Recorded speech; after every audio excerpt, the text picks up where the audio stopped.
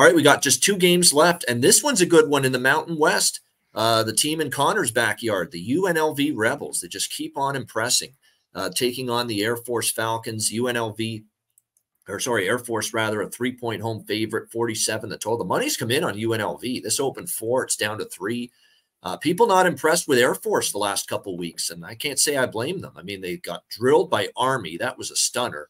What were they, 18 point favorite? They lost the game outright to Army a couple weeks ago. And then I saw that offense struggle to move the football on the island against Hawaii uh, last week, and they didn't insane. Yeah, yeah. Hawaii defense like that? Yeah. What the? yeah. That was surprising. That was, and that's now two weeks in a row. That this looked like a, an offense with Larrier at quarterback. The, the option attack couldn't be stopped, and suddenly they play Army and Hawaii, and they've scored 16 points.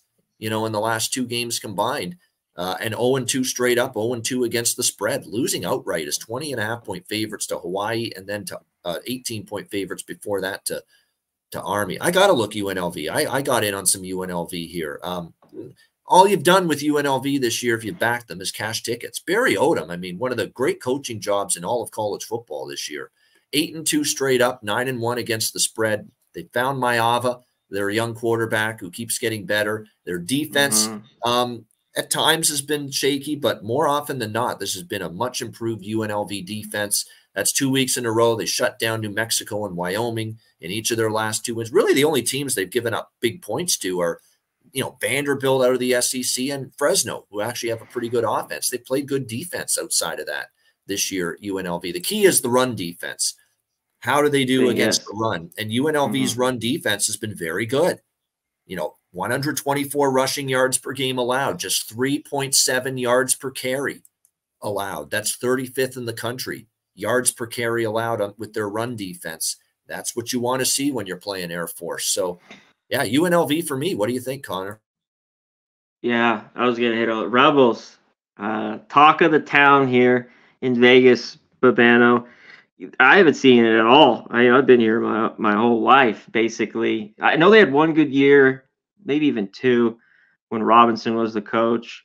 Uh, but Barry Odom, he's just done a hell of a job. What's gone on with Air Force? This is though, someone just put it, there's a lot on their plate. They have really slipped up the last few years, Bobano, right now, kind of in November. You know, they've gotten to these Bad great finishes, starts. 100%. Yeah.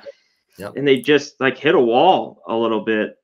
Yeah, you and you touched on it because that's what I wanted to hit on. Air Force, we know 275 on the ground, and UNLV's been pretty good. It's been the, their secondary I've talked about that's a little bit leaky. Air Force doesn't throw it. Yeah, get the hook. I think. I think this is a close one, and I think UNLV and Barry has these guys because this is a game that they've had trouble with. Air Force has kind of owned them a little bit, as bad as UNLV's been the past few years. So I think it's close. I think you just got the way Air Force has looked. Um, this is a game you take UNLV. Just been money too, nine and one, what ATS this year. You know, I don't want to be jumping off. All right. Yeah, I agree. I mean, it's this air all they all they've done is go eight and two straight up, nine and one against the spread this year. I think they are the single best point spread team in college football this year, UNLV.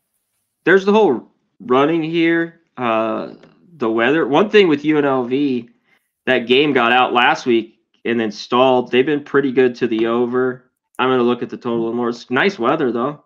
Wind yep. 10 miles an hour, 57 degrees. I'm gonna look at the total. I don't know if I mess with it, but yeah, I think if you get the hook, take the Rebels.